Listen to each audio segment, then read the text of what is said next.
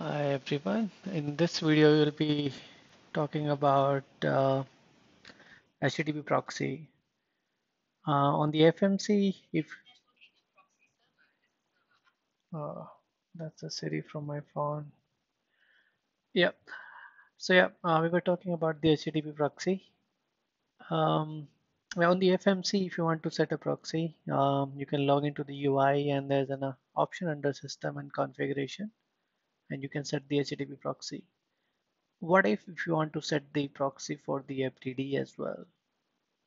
There is no uh, setting on the FMC where you can configure the HTTP proxy for the FTD devices. Um, on the FTD, there's a command uh, on the CLI uh, by which you can achieve the same thing. The command is pretty simple. Configure network HTTP proxy and press enter. Uh, just put your proxy IP address or the FQDN. I'll just say 10, 10, 10, 10 on port. Let's say it's listing on port 80. And if you have authentication, you can set it.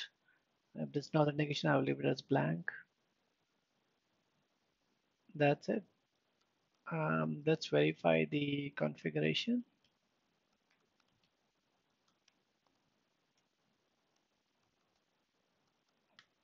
There's a file called iprep underscore proxy.conf that contains all the changes what we have. Yeah, that's pretty easy. Thank you.